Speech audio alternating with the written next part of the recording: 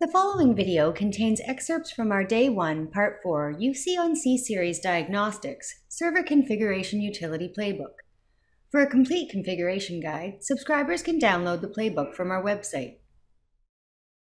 Welcome to our drawing, Day 1 C Series Server Deployment for Cisco Collaboration, Diagnostics, Server Configuration Utility, SCU.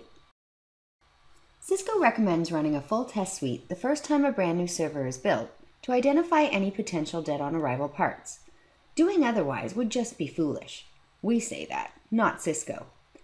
In this drawing, we'll describe the tasks required to run diagnostics using CIMC and the server configuration utility.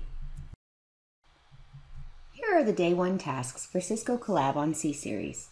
On day one, we deploy the C-Series server itself. On day one, we also deploy the hypervisor, our ESXi host. Only a subset of the tasks are required for BE deployment. We'll run through everything for UC on C-Series. Enterprise 20 runs diagnostics immediately after CIMC is configured. We've seen enterprises do this after the firmware has been upgraded, but we'd rather run diagnostics sooner than later. It's possible to run the diagnostics before you've even racked and cabled the server. Timing is up to you, but do run diagnostics before moving on to working with the hypervisor. The following tasks are part of running the diagnostics. Access the CIMC GUI in Server Console. Boot system using SCU image. Run diagnostics and evaluate results.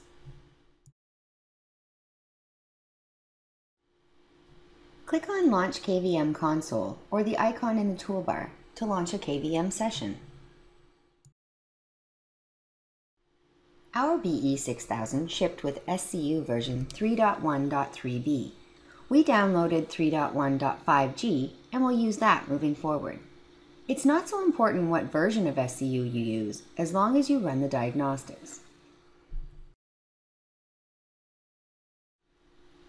Check the box beside the image you just selected and check the box in the Mapped column. With the KVM console open, switch to the CIMC GUI and on the Server Summary page, Power Cycle Server. Click OK to the dialog box and immediately switch to the KVM console.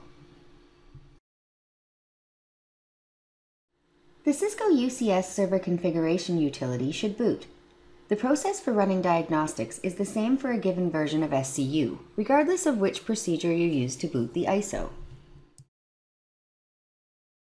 Navigate to Diagnostic Tools, Tests, Comprehensive Tests.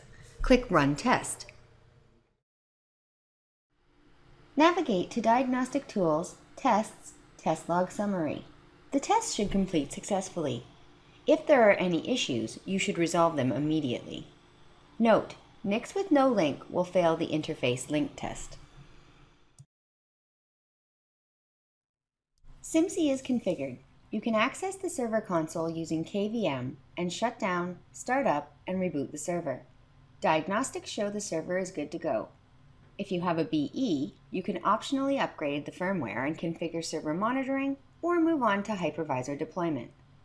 For a specs-based or TRC solution, you'll need to configure RAID. Coming up next, Day 1, Cisco Collaboration on C-Series server deployment Upgrade firmware, host upgrade utility. Thanks for watching!